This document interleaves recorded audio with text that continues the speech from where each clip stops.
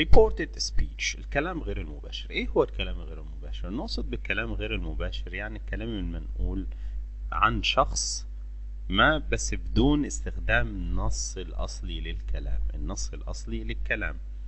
في هذه الحالة بيتم تغيير هيئة الكلام طبقا لنوع الحديث.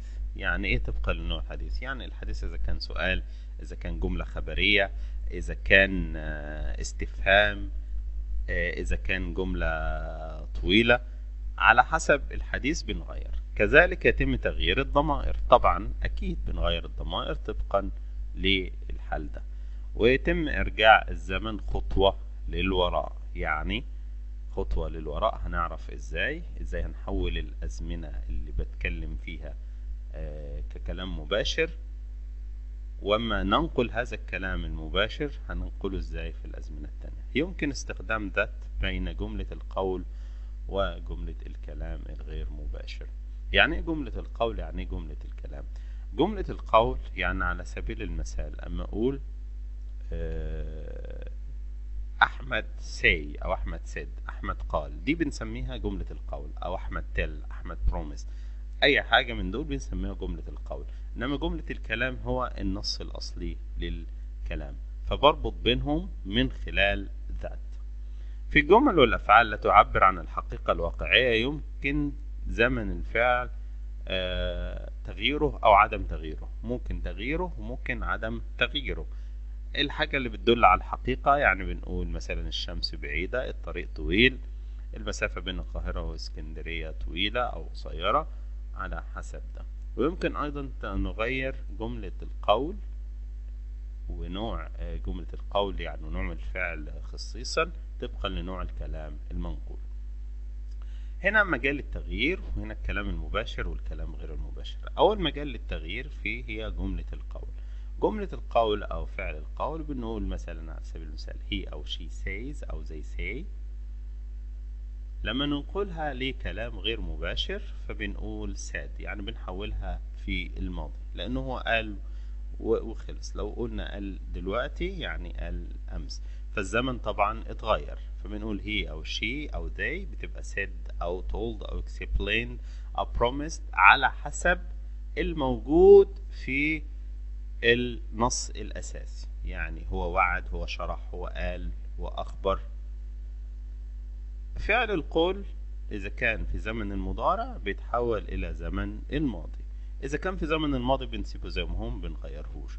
الضمائر الضمائر إذا كان في الكلام المباشر في الجملة الأصلية I أو we I بتتحول إلى he أو she و we بتتحول إلى they. I بتتحول لهي وشي و we بتتحول إلى they. زمن الكلام. زمن الكلام هنا الزمن الأصلي للكلام الأصلي. بيكون لو كان في زمن المضارع برجعه خطوة للوراء زي ما قلنا بيبقى في الماضي البسيط. لو كان في المضارع البسيط بيبقى في الماضي البسيط. لو كان في المضارع المستمر بيتحول للماضي المستمر. لو كان في المضارع التام بيتحول للماضي التام. لو كان في المستقبل البسيط اللي هو will زائد المصدر بيتحول لwould زائد المصدر. طب لو كان أي زمن غير المضارع المستقبل البسيط كالمستقبل التام المستقبل المستمر أنا بغير بس will بحولها ل would وما بغيرش أي حاجة آه، تاني بالنسبة للزمن. فبغير will وأحولها ل would. توقيت الكلام طبعا أكيد بيتغير يعني أو بيسموه time reference التوقيت اللي حصل فيه الكلام. يعني أنا أشرت في جملة القول ل today النهاردة. فلازم أحولها تبقى that day. لو قلت now يبقى then. لو قلت next week الأسبوع اللي جاي the following week. وهكذا يعني next week لو قلت day uh, tomorrow لو قلت على سبيل المثال next month هقول the following month. Next year the following year. لو tomorrow the following day. Yesterday يعني أمس بتبقى the previous day أو the day before. يعني إذا لقيناها في الكلام الغير المباشر بالشكل ده يبقى اما نيجي نحولها لكلام غير مباشر هنحولها بالشكل ده. تطبيقات على الكلام الغير مباشر. دي جمل كلام مباشر ودي جمل كلام غير مباشر. فنقول تامر ساد زي ما قلنا دي جملة القول ودي. آه، دي جملة الجملة الأصلية. تامر ساد حطيتها بين قوسين عشان أثبتها. تامر ساد تامر قال I wanted to stop smoking. I want to stop smoking. هنا الجملة دي في زمن المضارع البسيط. يبقى إذا لازم أغيرها في زمن الماضي البسيط. ممكن أغيرها وأقول تامر told me that uh, he wanted to stop smoking تامر told me أنا حاولت said هنا ل told me يعني أخبرني لو قلت say to me أو said to me حولتها إلى told uh, to me that he wanted to stop smoking لاحظ إن want هنا وهنا wanted في الماضي البسيط he said it is cold today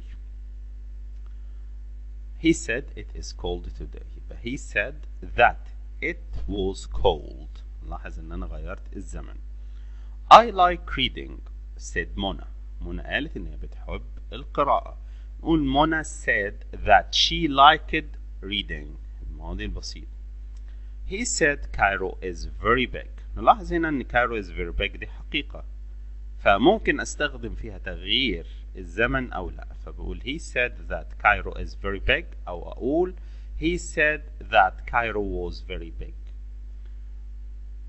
she said she will come early tomorrow she said she will come early tomorrow إن هو قالت ان هي هتيجي بدري بكرة فنلاحظ هنا ان انا غيرت ايه غيرت جملة القول فقلت she promised يعني هي وعدت that she would will حولتها ل would come early the next day. هنا tomorrow حولتها ل next day. وبكده انتهينا من الشرح وبالتام المستمر اولا آه، عملت لكم الجدول ده عشان يكون أسهل وأوضح بالنسبة لكم ونفهم إزاي نستخدم الماضي التام والماضي التام المستمر بشكل صحيح. اولا عندنا زمن الماضي التام. Present perfect simple الماضي التام البسيط. الماضي التام. الماضي التام تكوينه بيتكون من had زائد ال PP أو التصريف الثالث ال had أو التصريف الثالث و had هي الماضي بتاع have. فهنستخدم had زائد التصريف الثالث إنما الماضي التام المستمر بنستخدم had زائد been زائد فعل زائد ing الماضي التام المستمر had زائد been زائد فعل زائد ing هنعرف إيه الفرق بينهم في الاستخدام. اولا المضارع الماضي التام. الماضي التام بنستخدمه للتعبير عن حدث يكون أقدم من حدث آخر ودايما بيكون مرتبط بزمن المضارع الماضي البسيط الماضي البسيط. على سبيل المثال بنقول we were late because the bus had broken down. We were late because the bus had broken down. آه، في حدثين. الحدث الأول اللي تم بيكون في زمن الماضي التام. أما الحدث الأحدث منه أو أجدد منه بيكون في زمن الماضي البسيط. زي هنا قلنا we were late. إحنا اتأخرنا. إحنا اتأخرنا. الباص تعطل.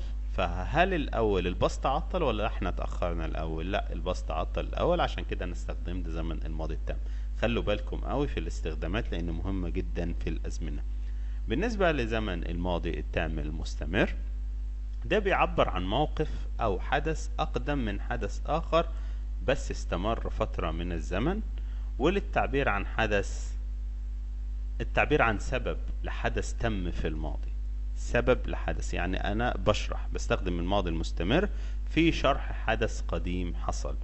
فعندنا مثالين فالمثال الأول بيقول when we visited my cousins in Canada they had been living there for six months. هنا حدث في الماضي حدث في الماضي وهو الماضي البسيط. إن إحنا زرناهم ولكنهم كانوا عايشين من فترة قبل كده من حوالي ست شهور لمدة ست شهور. عشان كده أنا استخدمت هنا زمن الماضي التام المستمر. Had been living آه إن أنا بشرح سبب فعلى بقول على سبيل المثال my father was tired because أبي كان متعب. ليه؟ He had been working in the farm all the day عامل في المزرعة طول اليوم. فعشان كده هنا أنا استخدمت زمن الماضي التام المستمر لأنه هو شرح حاجة تمت في فترة طويلة في الماضي. وده الفرق بينه وبين الماضي التام المستمر. باختصار الماضي التام البسيط بستخدمه في حدثين حدث أقدم من التاني إنما لو عاوز تفصيل لهذا الحدث بستخدم الماضي التام المستمر أو سبب لهذا الحدث. أولا المستقبل المستمر. المستقبل المستمر زي ما قلنا المستقبل هو عبارة عن تعريفي لشيء هيحدث إن شاء الله في المستقبل. إمتى سيحدث؟ أنا ما أعرفش. هل متأكد؟ مش متأكد. ده اللي بيحدده استخدام الزمن. عندنا في اللغة العربية أنا بستخدم سوف أو بستخدم الحرف سا أحطه قدام الفعل عشان أعبر عن المستقبل من غير أي تحديد أو تخصيص. لكن في اللغة الإنجليزية بنحدد الحدث. إذا كان حدث سيتم بالتأكيد حدث وفق خطة حدث في دليل موجود عليه إن شاء الله هيحصل حدث بدون دليل حدث هيستمر فترة في المستقبل أو في وقت محدد حدث هيتم في وقت محدد. في اللغة الإنجليزية بنحدد الحدث هيتم إمتى وظروف الحدث. فعندنا هنا اللي هنختص بيه النهاردة دراسته هو المستقبل المستمر. المستقبل المستمر ده بيعبر عن حدث هيتم في فترة هيستمر في فترة في المستقبل وبحدد الفترة دي يعني على سبيل المثال أما أقول I will be playing I will be playing tennis from 7 to 9 p.m. دي معناها إني أنا سألعب التنس من الساعة 7 للساعة 9 مساء أنا حددت كده الفترة اللي هتقع فيها الحدث عشان كده حطيته في زمن المستقبل المستمر زمن المستقبل المستمر بالأساس بيتكون من will be will be زائد الفعل زائد ing. الفعل الأساسي. will be زائد الفعل زائد ing. زي ما قلنا هنا I will be playing. يعني هنا will زائد be زائد الفعل الأساسي هو play فحطيته playing. الصيغة دي بتعبر عن حدوث شيء في المستقبل في وقت محدد والفترة زمنية معينة. آه بذكر الفترة دي. نقول على سبيل المثال تاني the government will be trying to reduce the effects of climate climate change. ستحاول الحكومة أن تحد من تأثيرات تغير المناخ. هنا بنتكلم عن حدث سيتم في المستقبل في المستقبل والفترة طويلة. منعرفش الفترة دي إمتى بس هيتم الفترة طويلة. بنستخدم maybe زائد الفعل زائد ing للتعبير عن المستقبل مستمر بس عن حدث غير مؤكد. غير مؤكد. يعني نسبته احتمال إنه يحصل ولا لا بس بنفس الصيغة أو نفس التعبير عن زمن المستقبل المستمر لذلك إحنا بنسمي maybe زائد الفيرب زائد ing أيضا مستقبل مستمر. بنقول many more people may be moving to Cairo in the next 50 years. ربما ينتقل المزيد من السكان للعيش في القاهرة السنوات الخمسون القادمة. ربما ربما لا بس السنوات الخمسين القادمة هي فترة طويلة عشان كده استخدمت معاها المستقبل المستمر. هنعرف إزاي؟ اولا مجال التغيير ما بين السؤال المباشر والسؤال غير المباشر لاحظ في السؤال المباشر بنقول ask. ask هو الفعل الأساسي المستخدم أما بحط السؤال مباشر يعني جملة القول بتكون في سؤال مباشر وبعدين بفتح قوسين وبكتب السؤال نصه بالظبط نص السؤال بالظبط لكن في حالة تغييرها مع الغير مباشر وربطها بجملة تانية أو بالسؤال التاني هستخدم بعض الأشياء الأخرى بعض الأفعال الأخرى. ممكن أستخدم asked طبعا ask لو هي في المضارع هحولها للماضي لو هي في الماضي بسيبها زي ما هي. آه ممكن أستخدم wanted to know. أريد أن أعرف أو يريد أن يعرف wonders أو wondered would like to know يريد أن يعرف can you tell me inquired inquired يعني يستفسر. آه فعل القول تمام بيكون في زمن المضارع يبقى إذا هيتحول لزمن الماضي لكن لو كان في زمن الماضي بسيبه زي ما هو ما بغيرش فيه حاجة. الضمائر طبعا you و he و she و they ليه أنا ما بستخدمش I لأن السؤال بيكون صعب ان اطرحه ال I أو we. لذلك ال you هتتحول إلى I أو we على حسب الفاعل. I أو we. هي هتتحول هي هي زي ما هي لأن هي ضمير الغائب ما بغيرش في حاجة. وشي هي هي وذي هي هي. بالنسبة للأزمنة طبعا المضارع البسيط حول الماضي البسيط زي ما شفنا في الكلام المباشر وغير المباشر في الجملة الخبرية. المضارع المستمر بيتحول للماضي المستمر. المضارع التام بيتحول للماضي التام will زائد المصدر بتتحول لwould زائد المصدر. آه وهنشرح ونقول تاني بالنسبة للمضارع البسيط وبالنسبة للماضي البسيط. آه سهل عارفينه إزاي؟ هو تكوينه بيكون عادي المضارع البسيط بيكون مع he و she و it بحط s في الماضي البسيط بستخدم ed مع الأفعال المنتظمة مع الافعال الغير منتظمة بعرفها. لو عندكم محتاجين أي معلومات تانية هترجعوا ل الفيديو الخاص بالأفعال من قناة مستر محسن بشرح لكم بالتفصيل في الأفعال. بالنسبة للمضارع المستمر بيتكون من am أو is أو are زائد الفعل زائد ing الماضي المستمر بيتكون من was أو were زائد الفعل زائد ing المضارع التام بيتكون من has أو have والماضي التام had أو had زائد التصريف الثالث.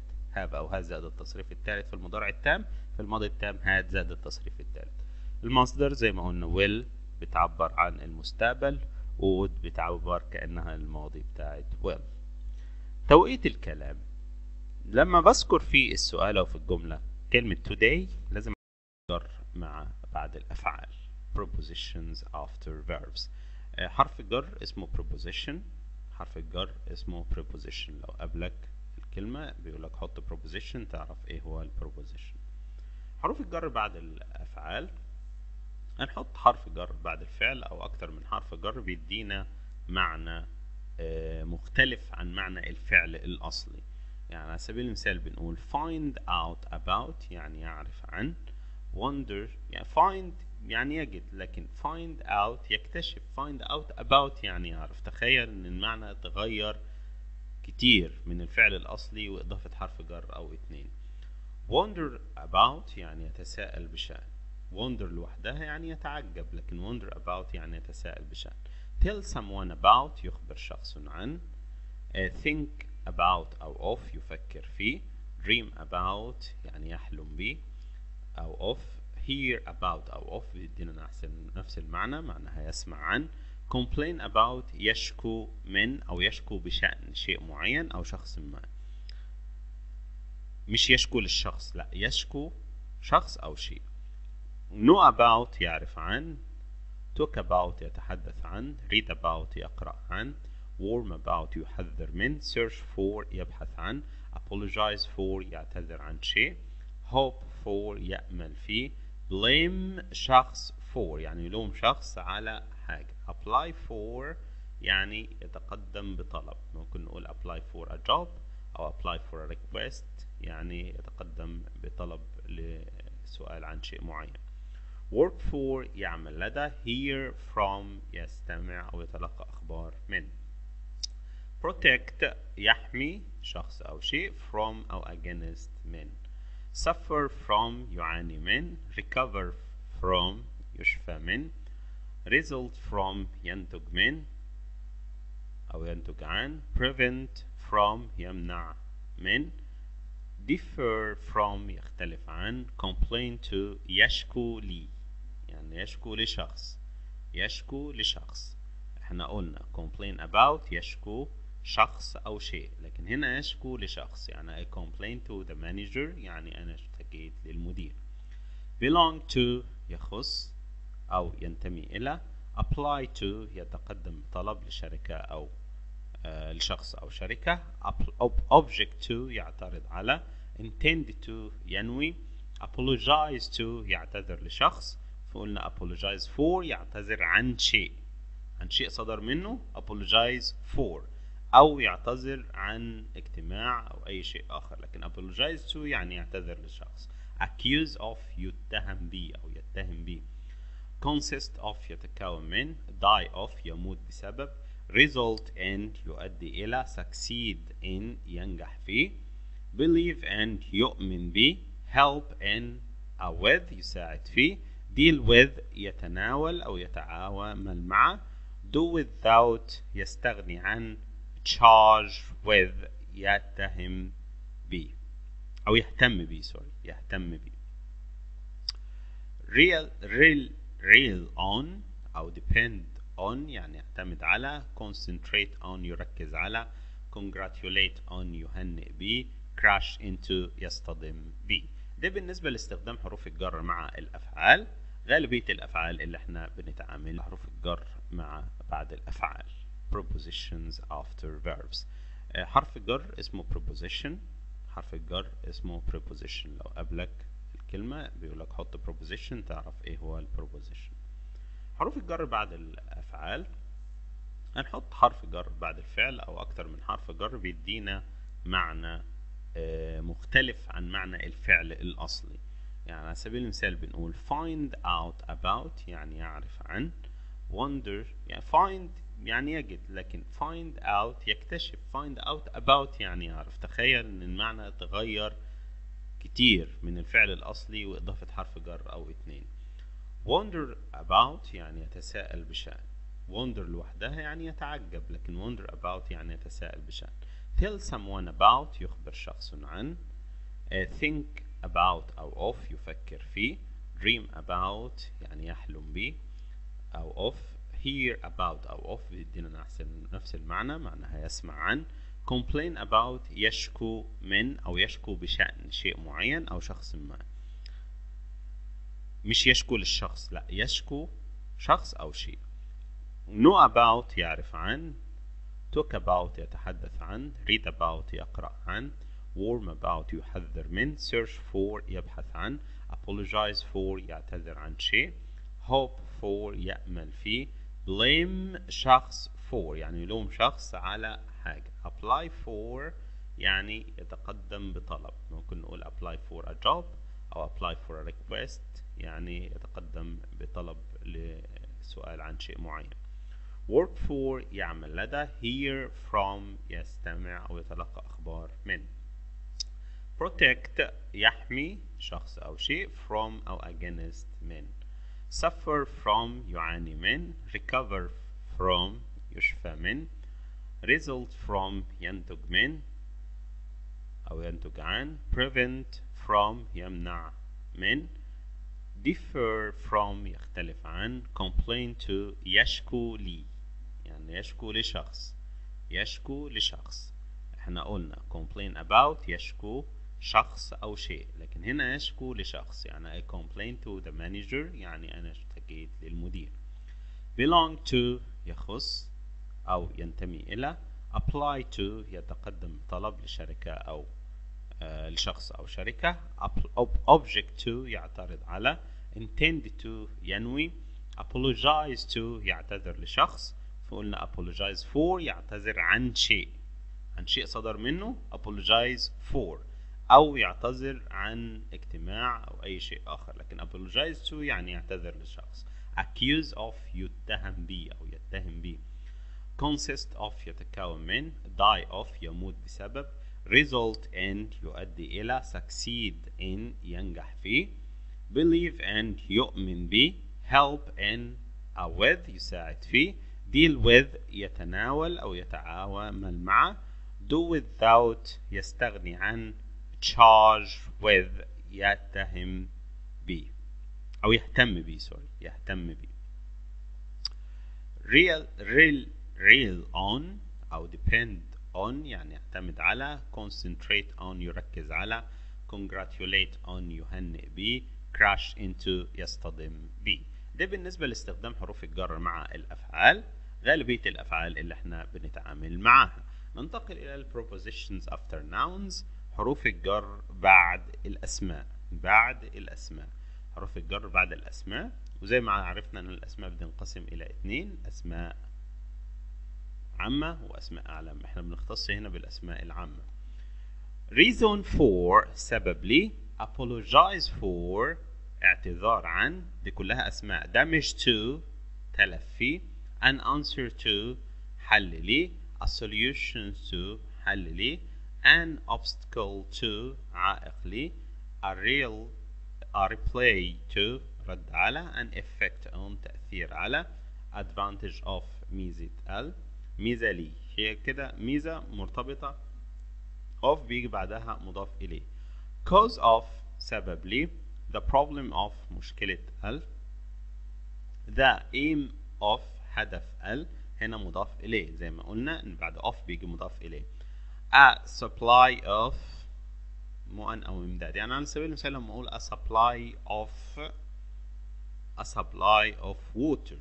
A supply of water يعني إمدادات مياه. Uh, increase and زيادة في decrease and نقص في.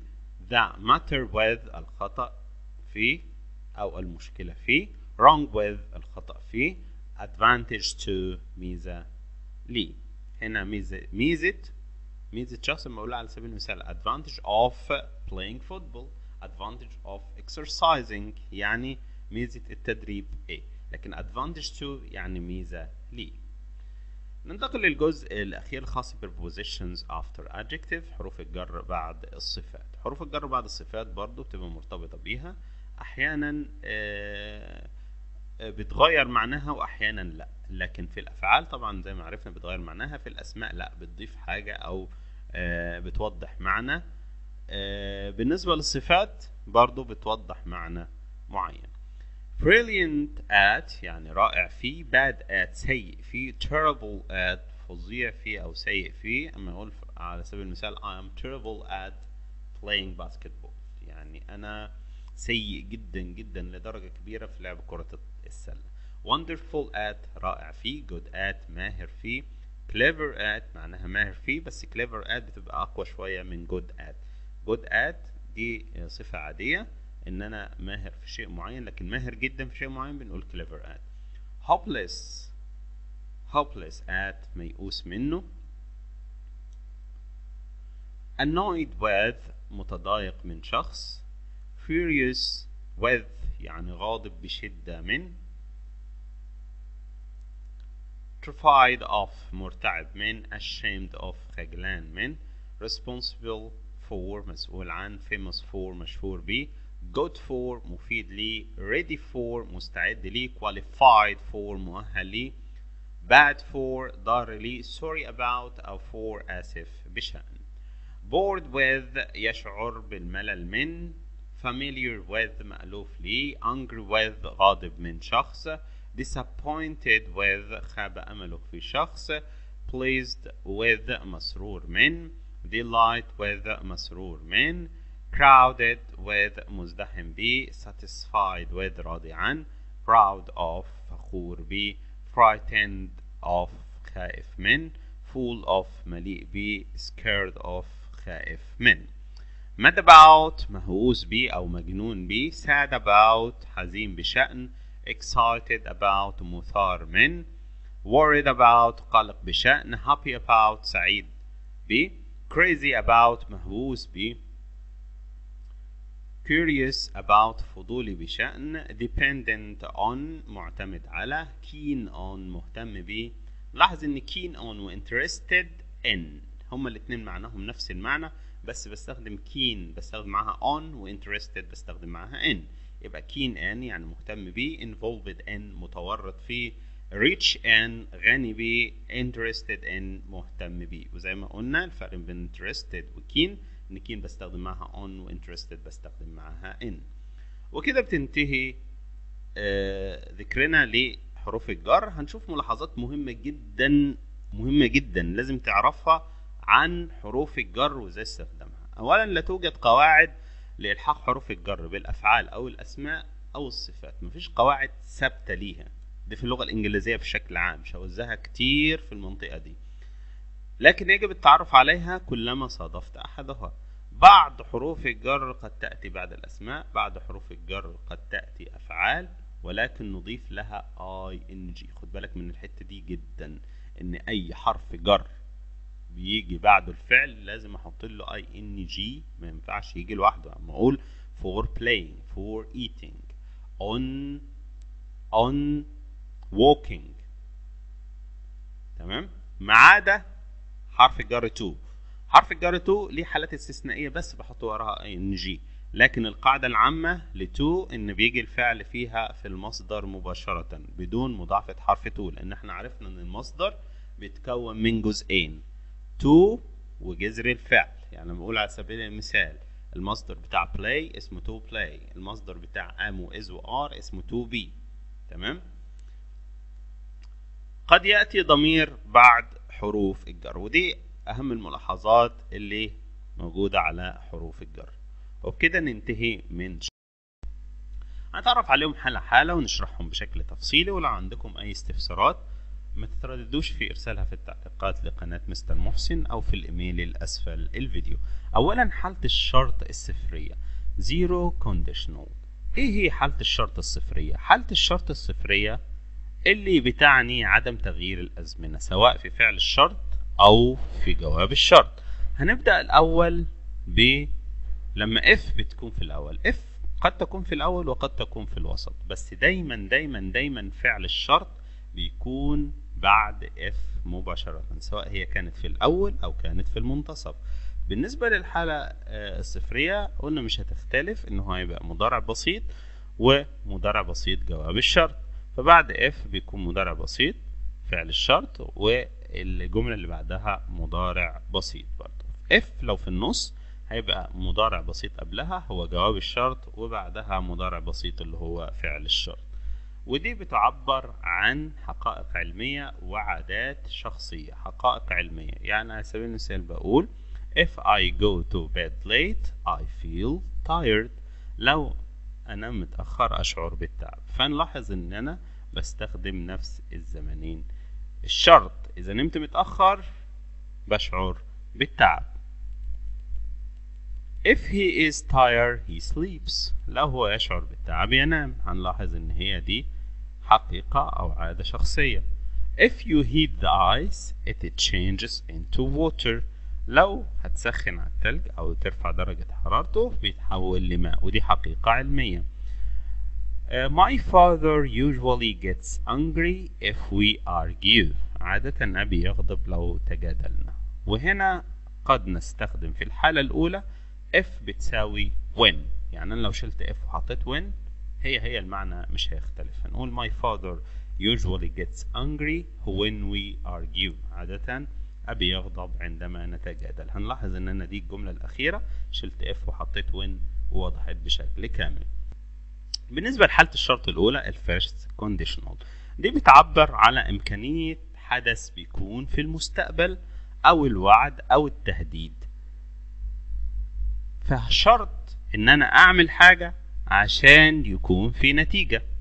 دي ما بتعبرش عن حقيقة علمية ولا بتعبر عن شيء لازم أعمله عشان يكون في نتيجة لي. وإف هنا سواء كانت في الأول أو في المنتصف زي ما قلنا بعدها بيكون فعل الشرط. وفعل الشرط في الحالة الأولى بيكون في زمن المضارع البسيط. بس جواب الشرط بيكون في زمن المستقبل البسيط. يبقى إذا بعد if سواء في إذا كانت في الأول أو في النص بيجي المضارع البسيط أو جواب الشرط اللي هو جواب الشرط والجملة التانية سواء لو كانت if في الأول أو في المنتصف بيكون في زمن المستقبل البسيط. لو كانت if في المنتصف بيكون قبلها جواب الشرط اللي هو المستقبل البسيط. لو كانت في الأول بيكون الجملة التانية. سبيل المثال بيقول if I see her tomorrow I will tell her the news. لو شفتها بكرة إن شاء الله هقول لها الأخبار. If you study hard you will get high marks. الشرط إنك أنت تحصل على درجات عالية لازم تذاكر كويس. فعندنا if هنا بعدها مضارع بسيط وهو فعل الشرط. والجملة التانية بتكون ماضي آه سوري مستقبل بسيط وهو جواب الشرط ممكن ان أنا استخدم may أو can بدل will فبقول if they have enough time they can play another game هنا can بتحل محل will بتديني نفس المعنى if she finished her homework she may help her mom لو تنتهي من الواجب بتاعها بت... ممكن إنها تساعد أمها. ودي بتبقى حالات إيه مختلفة على حسب الغرض اللي بستخدمه ليها. لكن بشكل عام هنستخدم will. لو آه تدل على إمكانية أو احتمالية يعني ممكن أو ممكن لأ هنستخدم may.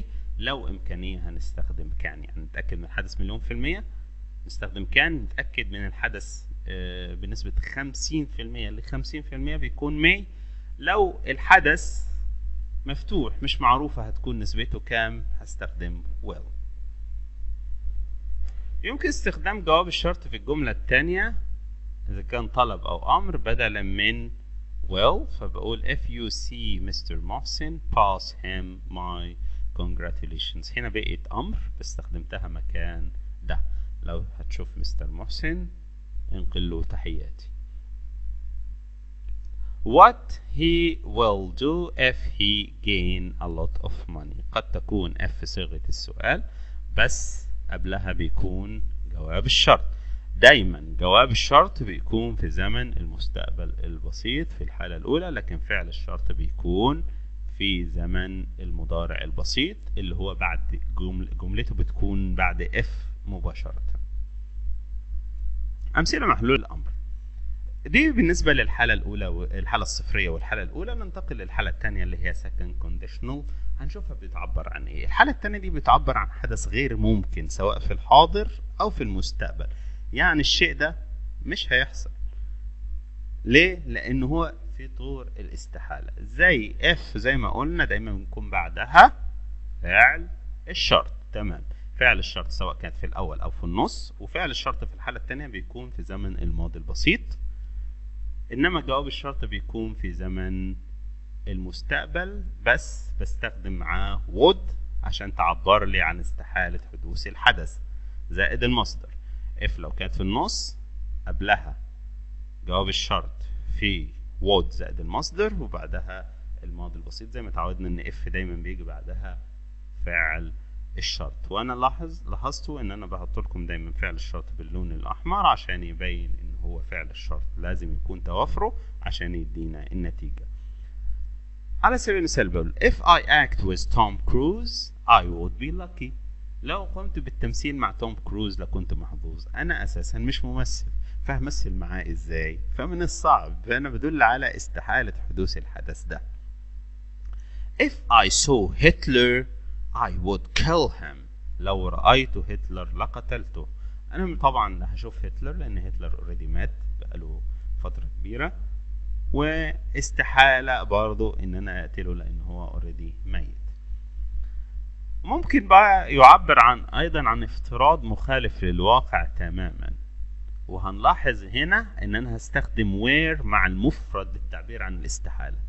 لاحظ الحتة دي إن أنا بستخدمها في if إن أنا بستخدم were مع المفرد سواء مع I أو she أو he أو it فهقول على سبيل المثال if I were famous لو أنا كنت famous هي أساسا المفروض في الماضي البسيط بستخدم was ما بستخدمش were. استخدمت were هنا للتعبير عن استحالة حدوث الحدث. if I were famous لو كنت مشهور I would travel around the world كنت سافرت حول العالم. if he were the president of USA لو هو كان رئيس الولايات المتحدة he would stop the Iraq war. لو كان رئيس الولايات المتحدة لكان أوقف حرب العراق وحرب العراق تمت اوريدي في 2003 والجيش الأمريكي يعتبر خرج في 2009 فهنا استحالة حدوث الحدث ده لأن هو مش لا رئيس الولايات المتحدة واستحالة يبقى رئيس الولايات المتحدة وفي نفس الوقت هو ما يقدرش يوقف حرب العراق. تستخدم الحالة الثانية برضو في النصيحة بس النصيحة الصعبة فبقول if I were you لو كنت مكانك I would learn Spanish لو كنت مكانك لتعلمت اللغة الأسبانية. فأنا استحالة أكون مكانك. كده ننتقل للحالة الشرطية الأخيرة وهي الثالثة third conditional. ودي بتعبر عن إيه؟ تعبر عن التخيل في الماضي وهو ما يعني استحالة حدوث الحدث بأي حال. وقد تعبر عن الندم عن أحداث في الماضي. F في الحالة الثالثة بيكون بعدها ماضي تام.